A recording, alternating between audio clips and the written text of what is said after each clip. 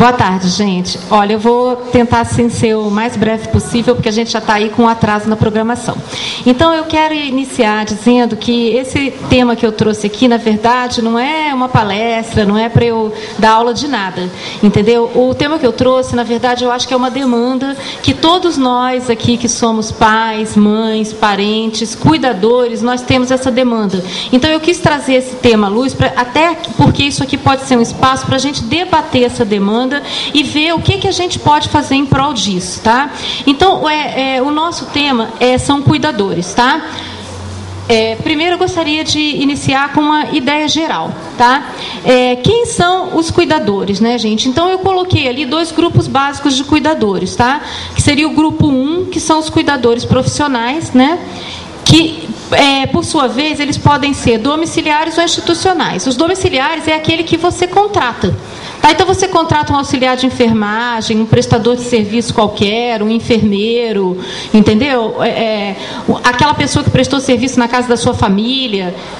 Esse é o primeiro grupo. E tem aqueles institucionais que estão dentro das próprias instituições, né? Que a pessoa tem a opção, e existem alguns lugares que tem casas de apoio, instituições que você pode deixar. E tem o grupo 2, que são os cuidadores que eu vou chamar daqui para frente de familiares, cuidadores familiares, que pode ser uma pessoa da família, um cônjuge, um amigo, né? Então, olha só, olha a realidade que a gente tem aqui no nosso país. Eu acho que vocês vão concordar comigo que a grande maioria dos nossos pacientes, eles estão aqui com esse segundo grupo de cuidadores, que é os cuidadores, os familiares, né? Certo? Porque muito poucas famílias tem poder aquisitivo para contratar um, um, cuidador profissional, né? Por que, que a gente precisa de um cuidador? Por que, que chega um, um momento que a gente precisa de um cuidador? Ou porque a gente tem uma é porque a gente tem uma incapacidade, certo? Essa incapacidade ela pode ser temporária ou ela pode ser permanente. Permanente ela pode ser por quê? Por uma idade avançada, porque não é só pessoa com deficiência que precisa de cuidador, né? O idoso, num determinado momento, ele pode precisar também, ou ela pode ser uma condição adquirida, uma patologia, que é, a, que é o nosso caso.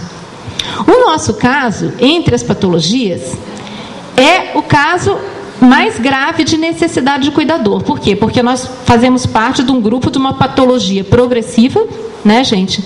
Incapacitante e irreversível, que é a questão da distrofia muscular. Então, eu acho que todos nós sabemos aqui que vai chegar um momento em que a gente vai precisar desse cuidador, tá? Aí vamos ver só. Qual é a relação que vai existir no caso das distrofias musculares entre esse cuidador e o paciente? Isso, gente, eu estou falando, olha, a médio e a longo prazo, porque todos nós aqui, já foi falado, eu não preciso falar isso, né, não é da minha área, a gente sabe que a nossa doença é progressiva. Né? Então, quais são as limitações que o paciente tem ou que ele vai adquirir a médio e longo prazo? Então, basicamente, li, limitações de movimento, de equilíbrio e de força muscular. Essas limitações que ele tem, ou que ele vai adquirindo ao longo do tempo, quais são as demandas que ele vai exigir do cuidador, daquela pessoa que está o assistindo domiciliarmente, né? Aquele cuidador familiar. As funções do cuidador, elas vão envolver a locomoção, as transferências. Que transferência, gente? Qualquer tipo de transferência, tanto interna quanto externa. Tanto quanto você tem que sair de casa para você ir ao médico, ir ao fisioterapeuta, ir ao shopping, ir ao cinema, ir à escola, como as transferências dentro de casa. Você precisa sair da sua cama para você ir para a sua cadeira de rodas, você precisa sair da cadeira de roda para você ir para a cadeira é, é, higiênica para tomar o seu banho, para usar o sanitário, para fazer a sua fisioterapia se você faz domiciliar. Né? Ele vai precisar de ajuda para alimentação.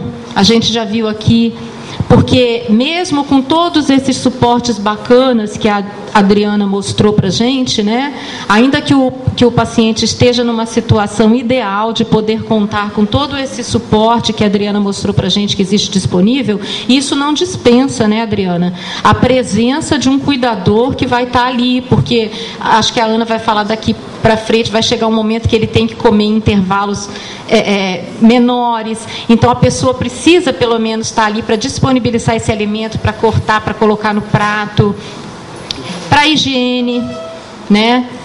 Para o uso do sanitário, enfim, para todas as atividades rotineiras, para se vestir, não é verdade? Então isso implica o que, gente? Implica um cuidador diuturno para se virar na cama, para pôr o bipap, para tirar o bipap. É um cuidador diuturno, é 24 horas. Oito dias por semana. Sábado, domingo, feriado, dia santo, não é verdade? Então, olha só, gente. Pode passar. Qual seria o impacto para esse cuidador? Para essa pessoa da família, para esse amigo, para esse cônjuge que vai assumir esta função de cuidador. Porque a família não tem recursos para manter um cuidador 24 horas profissional. Qual seria o impacto para ele? Então, olha só, a gente tentou dividir assim em três grupos de impacto: impacto social, financeiro e emocional. Então, olha só, o impacto social primeiro, gente. A relação horas-atividade e o período de descanso-lazer. Qual é a hora que essa pessoa vai ter para ela. Qual é a hora? Então vamos colocar assim, olha. Enquanto o paciente tiver uma condição média, ele dorme a noite inteira, dorme bem, ele se vira na cama. Ele não precisa usar ainda o, o auxílio ventilatório. E depois? E depois? Aí vamos supor que esse cuidador é um pai ou uma mãe, ou um irmão ou uma irmã e vamos supor aqui que esse, esse irmão ou irmã é casado. Esse papai e essa mamãe são casados. E aí, como que fica? Você dorme com o teu marido ou você dorme com o teu filho? Você dorme com o teu. Então, você dorme com o teu irmão ou com, teu, ou com, ou com a esposa, sua esposa? Como que fica, né? Aí então vamos começar a pensar nessas coisas. Eu estou aqui levantando questões, né? É, a qualidade e a continuidade do sono.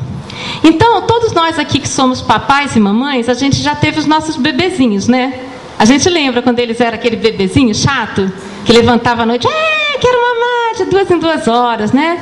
Não era assim? Aí a gente levantava lá, dava uma madeirinha, batia de lado, ele dormia de novo, né? Então, mas eu sempre falo assim que a natureza é sábia, né? Porque a gente só tem filho quando a gente é novo, né? Chega uma certa idade, né, Ana? Porque quando a gente é novo, a gente sabe que você vai fazer isso por um tempo. A gente é novo a gente é novo há mais tempo, né? Nós somos jovens há mais tempo, vocês sabem, né? Então, mas aí é, é, você sabe que você vai fazer isso por um tempo, depois aquele nenezinho vai crescer, né? Vai fazer mais nenezinho, não é verdade? Pois é, mas só que no nosso caso aqui dos nossos pacientes, eles crescem, às vezes eles até fazem nenezinho, mas eles continuam nenezinho à noite. Então, uma coisa é você ficar três meses, quatro meses, um ano sem dormir a noite toda. Outra coisa é quando isso se prolonga por anos, que você não tem descanso, porque é, é, a qualidade do sono, a quantidade e a qualidade do sono, eu acho que né, os doutores estão aqui, depois vão poder explicar isso melhor. Eles, eles, o nosso organismo ele responde a isso de uma certa forma, uma forma muito negativa. O nosso organismo responde a isso. Bom, é, aí tem ainda o desgaste físico e o desgaste emocional, né? O desgaste físico é imenso, né? Porque chega no final do dia você está morta de cansaço, ou o marido ou a esposa, a hora que seu marido chega em casa você não quer nem olhar para a cara dele, você fica louca para lavar a louça do jantar e todo mundo ir para a cama, né? O desgaste emocional é terrível, porque você, como familiar, como amigo, como cônjuge, você não está fazendo isso, você não é um profissional, você não está fazendo para uma pessoa estranha. Você está fazendo para uma pessoa com quem você tem um vínculo afetivo para o resto da vida. E você vê todos os dias aquela pessoa, a saúde dela se degradando, cada vez mais você tentando fazer, então você sofre esse impacto também. Aí vem o impacto financeiro. como é que vem esse impacto financeiro, gente? Porque no começo você se afasta algumas horas da sua atividade profissional, né? Aí depois as necessidades do paciente vão aumentando. Então não dá mais para você se afastar só algumas horas. Você tem que se afastar um período. Até que todos os períodos que você tinha para se afastar, pela lei você já não pode se afastar mais. Então você tem que fazer uma escolha. Que é você afastar permanentemente a sua atividade profissional. Quando você faz isso, você perde, né, aquilo que é importante, porque a gente vive numa sociedade capitalista. Você perde o suporte financeiro. Aí vem a falta de recurso. Quando você se afasta do seu trabalho, além da falta de recurso financeiro, se você tinha um vínculo empregatício, você perde coisas importantes. Você perde o seu plano de saúde que você tinha pela empresa, ou se você pagava um porque você não pode mais pagar porque você não tem recurso financeiro, você perde um plano de aposentadoria. E o que, que acontece quando você perde tudo isso, né, gente? Mais tarde, quando aquela pessoa já não estiver entre a gente, o que, que acontece com esse cuidador? Bom, aí tem o impacto emocional, que eu acho que, sabe, é, é muito bacana a gente falar aqui, e é uma verdade, todos nós concordamos, que nós somos, nós aqui familiares, papais, mamães, irmãos, nós somos abençoados por ter recebido essas pessoas na nossa vida que nos fazem tão melhores do que a gente era antes, que ensina tanto para a gente, né? E torna a gente pessoas tão melhores. Nós somos abençoados. Mas seria hipócrita da nossa parte, porque vai contra o senso de humanidade, a gente dizer, né, que isso não afeta o nosso projeto individual de vida.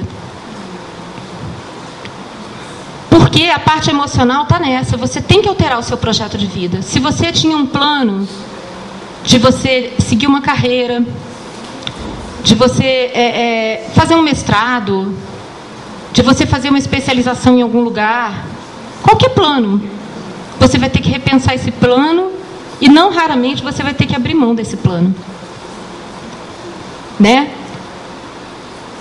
Aí tem aqueles sofrimentos inerentes aos laços afetivos, porque nesse sofrimento é, é, é uma via de mão dupla. Porque tanto você sente culpa em relação ao paciente, como o paciente sente culpa em relação a você. Porque, de uma certa forma, você não consegue não abrir mão em função dele e ele se sente mal porque ele está roubando essa parte da sua vida. Ele acha que ele está roubando essa parte da sua vida. Não é verdade? Então, quais são os riscos que esse cuidador, com toda essa carga, ele sofre ao longo do tempo? Isso eu não estou inventando, isso são dados, a gente pesquisou, vai ter uma bibliografia no final. Primeiro que esse cuidador, gente, é para a sociedade ele é um ser invisível. Ele é um fantasma da sociedade. Nós somos fantasmas para a sociedade. A gente fala assim popularmente, só quem vive sabe. Só quem vive sabe, ninguém sabe o que você passa no dia a dia. Então, invisibilidade e desamparo social. Tem alguma política pública para gente, gente? Tem alguma lei que ampara a gente? Tem alguém que vem resolver o nosso problema?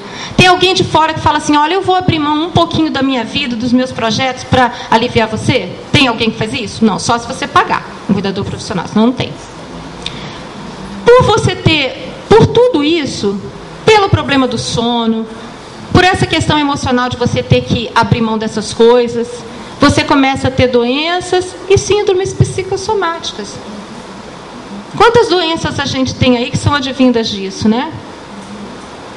Aí o seu estômago começa a não funcionar bem, tudo que você come você passa mal, na é verdade o cabelo começa a cair, a unha começa a quebrar, você engorda demais, você emagrece demais, você tem anorexia, você vomita, você não sei o quê, você tem depressão.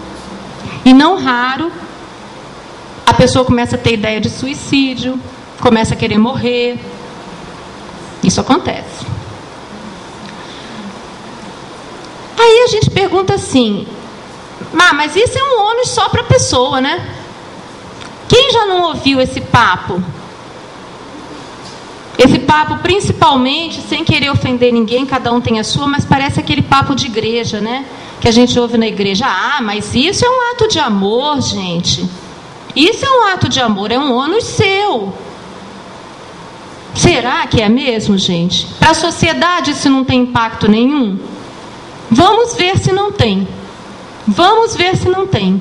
Olha só o círculo vicioso de dependência. O cuidador vai, se elege aquela pessoa e ele faz tudo isso, ele arca com todo esse impacto. Daqui amanhã cessa a necessidade daquele paciente. Ou porque, ó, sabe, daqui a um ano vai lá a doutora Ana Lúcia na televisão, olha, descobriram a cura da DMD. Beleza, legal. Essa é a hipótese mais bacana que tem. Mas esse cuidador, ele ficou fora das atividades dele durante 10 anos até descobrir, ou durante 15, ou durante 20. E agora? Ele já tem 50 anos, 40, 60. Alguém conhece um mercado de trabalho no Brasil que absorve essa pessoa facilmente? Alguém conhece? Alguma cidade, algum estado no Brasil? Essa pessoa não se qualificou, ela, ela parou a carreira dela, ela não tem recursos próprios, ela não tem plano de saúde, ela não tem plano de aposentadoria. Quem vai ter que sustentar ela? Ela se torna um dependente da família ou, na falta da família, um dependente do Estado. Quem é o Estado? Quem sustenta o Estado? A sociedade, todos nós. Então formou-se um ciclo vicioso. Ou, se não descobrir a cura, daqui amanhã aquele paciente falta. Ele morre, ele falta por qualquer motivo. Acontece a mesma coisa com o cuidador. Ele próprio se torna um dependente da família ou do Estado. De alguma forma, isso vai refletir no sistema que nós todos pagamos. Pode passar. Aí eu pergunto: e as, e as políticas públicas? Nós temos políticas públicas para cuidador no Brasil, pessoal? O que, que a gente tem no Brasil? Olha lá, o que, que a gente tem? A gente tem uma coisa que se chama BPC Loas. O que, que é BPC Loas? Quem sabe aí? É o benefício de prestação continuada. Né? Todos esses dados estão lá na internet. O BPC Loas é para pessoas com deficiência, com renda familiar. Olha, presta atenção, pessoal com renda familiar per capita inferior a um quarto de salário mínimo. Quem tiver com calculadora faz as contas. Comprovada, faz as contas. Dá o quê? 154 reais por pessoa? Uma família de quatro pessoas dá o quê? Um salário mínimo. 620 reais, é isso? Que beleza, né, gente? Olha, qualquer família que ganhe mais do que 620 reais, ela tem recursos, entendeu? Para arcar com os cuidados de uma pessoa com uma doença como a distrofia muscular. Quem concorda, levanta o dedo. Parece que só os nossos gestores públicos é que concordam. Eles devem ter uma fórmula mágica.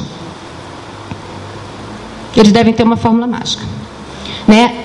A gente tem também o auxílio cuidador. O que, que é o auxílio cuidador? É um acréscimo de 25% ao valor, prestem atenção de novo, a aposentadoria por invalidez. Puxa, que legal.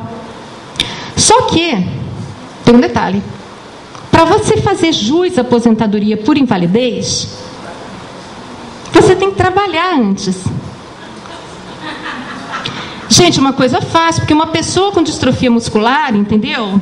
Quando ela chega na idade produtiva de trabalhar, ela está em condições assim perfeitas, por mais qualificação que ela tenha.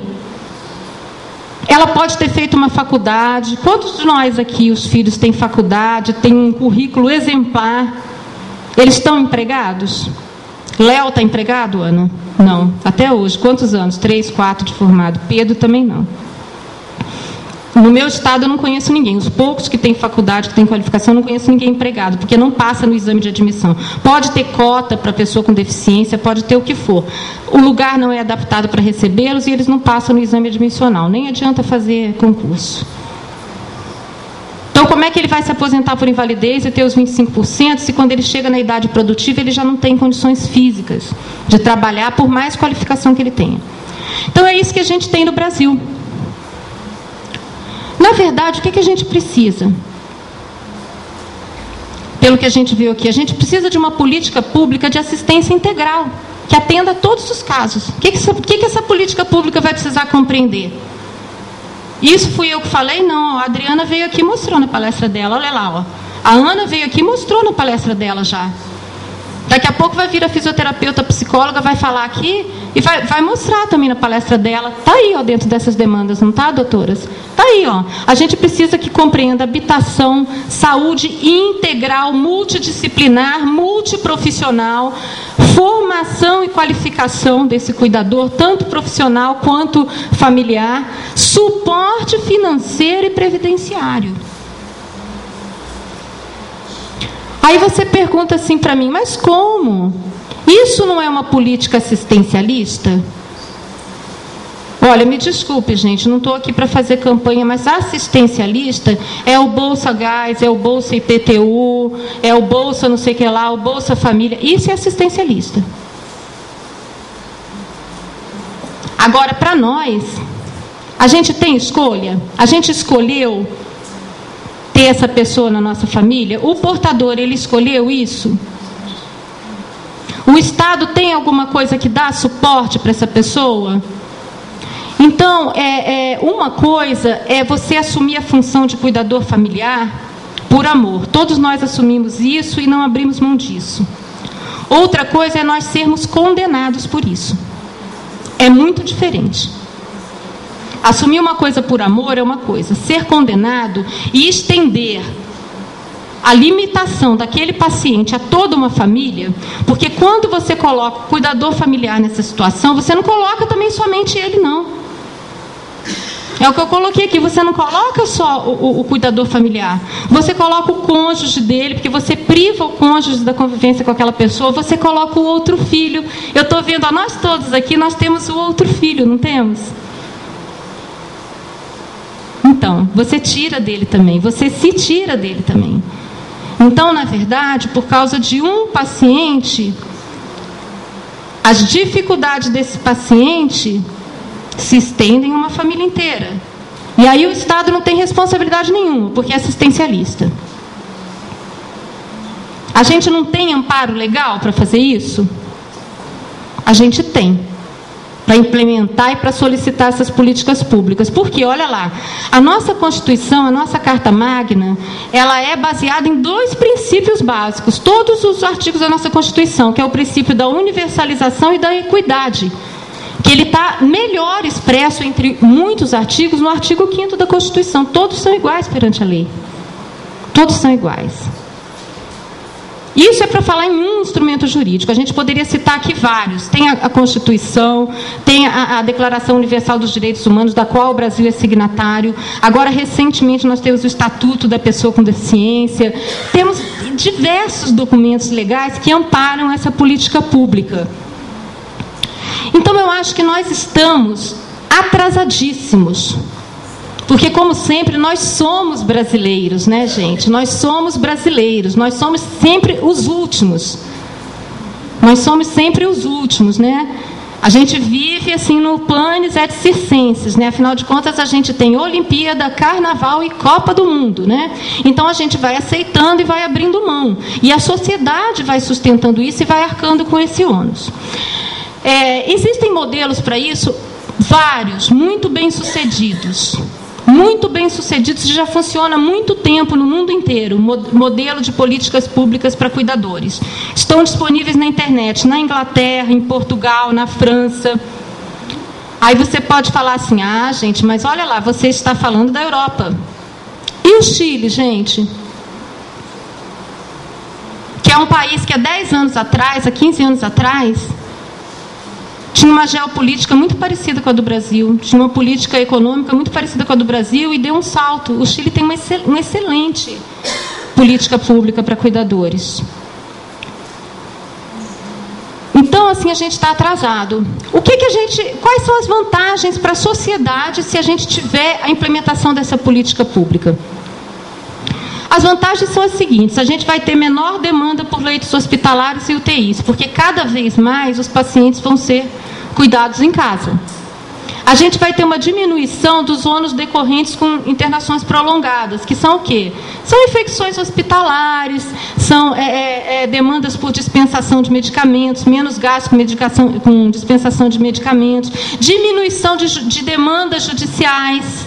Né? O nosso judiciário, que já é tão tão abarrotado de serviço e tão lento e tão caro para a sociedade, né? Possibilidade de reintegração do cuidador, cessada a necessidade da sua função, né? a atividade produtiva independente, generando o poder público de sua assistência vitalícia. Como é que a gente pode fazer isso? Existem várias formas para a gente fazer isso.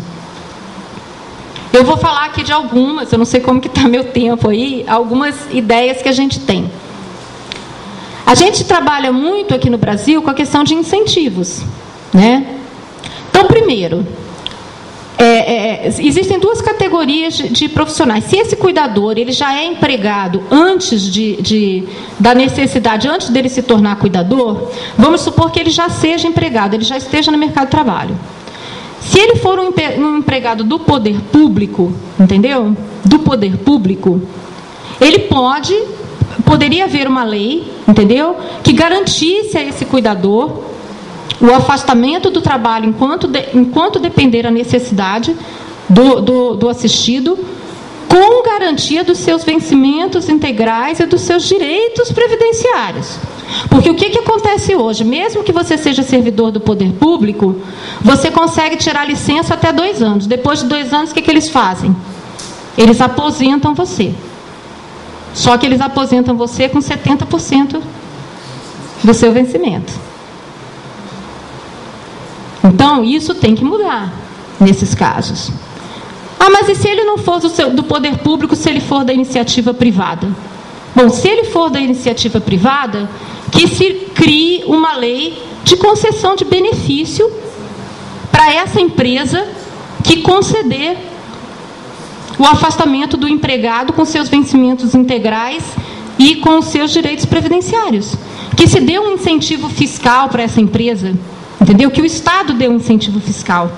Isso seria uma primeira ideia para resolver a questão financeira que eu digo da política pública, o que não dispensa todas aquelas outras demandas do formato que eu coloquei lá, a questão da moradia, a questão da implementação da, da questão da saúde, do atendimento domiciliar, multidisciplinar, de casas de apoio é, é, que, que sejam bem equipadas para que esse cuidador possa tirar períodos de férias, possa não dispensa tudo isso, mas é, esse seria um início para a gente pensar nisso, gente. O que, que a gente pode fazer?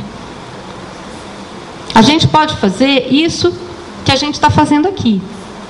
Entendeu? A gente pode levantar essas questões, que são questões até desagradáveis, mas necessárias, né? A gente pode levantar essas questões, informar essas questões, sensibilizar as pessoas. Sensibilizar quem, gente? Profissionais de imprensa, profissionais de áreas afins, agentes comunitários, líderes sociais e religiosos, pessoas de destaque na comunidade e na sociedade, gestores públicos de todas as esferas de poder e, principalmente, nos organizarmos coletivamente em prol das nossas demandas. Nós precisamos tomar consciência desses problemas, gente, falar a mesma língua. Isso eu aprendi nos meus anos de militância. Porque sozinho a gente não tem força para nada. Se a gente se organizar, encontros como esse, ah, a sua demanda é muito parecida com a minha. Na minha cidade acontece a mesma coisa. É, vamos, vamos formular um manifesto comum, um documento comum. Você no seu estado, você na sua cidade, vai na Câmara de Vereadores, pede, pede para participar de uma sessão plenária, esclarece os seus vereadores do seu município, vai na Assembleia Legislativa do seu estado, pede a palavra pede para eles te darem a palavra numa sessão plenária, esclarece os deputados, protocola um documento no seu município, vai nos líderes de bairro, nos líderes religiosos. Nós temos que falar nossa, a mesma língua, nós temos que nos organizar, protocolar documentos, fazer pressão. É só assim que a gente vai conseguir fazer alguma coisa. Leis, a gente tem muitas no Brasil. A gente precisa que essas leis sejam realmente implementadas e que elas funcionem. A demanda por uma política pública de cuidadores é urgente no nosso país. Mas a gente precisa falar a mesma língua. Elaborar uma política pública há que se ter cuidados. Porque se é público, é de todos. Então ela tem que atender a todas as categorias, a todas as demandas. Nós estamos no extremo maior da demanda. As nossas doenças é o extremo maior. Não adianta fazer política pública para um grupo restrito, para quem é aposentado por invalidez, para quem ganha um salário mínimo. A gente precisa fazer política pública, é público, é para todo mundo. Então, gente, essa é a questão é, é, que eu queria levantar. Eu coloquei aí uma bibliografia tá, para vocês, que foi da onde eu tirei essas coisas. Eu acho que vai ficar disponível aí, se alguém se interessar depois, pode dar uma olhada nessas bibliografias que eu coloquei. Pode passar o próximo. É, deixei alguns contatos, tá, da nossa associação lá em Mato Grosso do Sul. A gente tem um blog que eu costumo colocar essas minhas ideias de jirico, né, que a gente fica pensando e dividindo com gente do Brasil inteiro, essas ideias de jirico. Então, vocês são bem-vindos para acrescentar mais ideias de jirico lá. E coloquei um, li um linkzinho lá de onde está disponível o livro que eu escrevi, que algumas pessoas leram, que todo mundo me pergunta: tem para vender? Não tem, gente, não é para vender. Está disponível online lá. Quem se interessar e quiser ler, é só entrar lá na internet, é de graça. Tá? É isso, gente. Eu agradeço a atenção de vocês, tá?